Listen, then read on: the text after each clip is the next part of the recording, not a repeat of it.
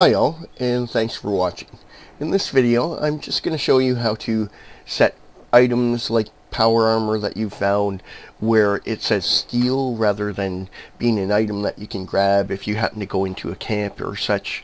I happen to have finished up with some raiders and I found this suit of armor in their camp, but it said steal on it, it as it was still owned by one of the raiders, I guess and I just wanted to actually show you how you can set the ownership so that the armor will be set so that it's yours. And what you want to do is bring up the console and that's that key to the left of the one kind of the the little squiggly line. And you push that and bring up the console and you type in set ownership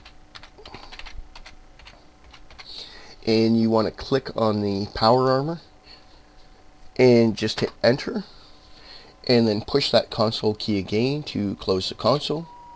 And as you can see now the ownership has changed over so that you can pick it up and it's no longer stealing it.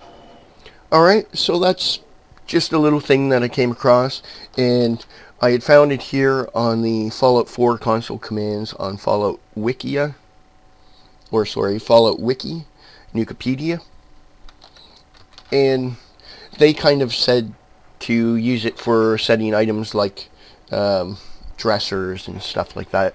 But I thought I'd just try it with the power armor, and it seems to work with that. So I thought I'd make a quick little video just to show you.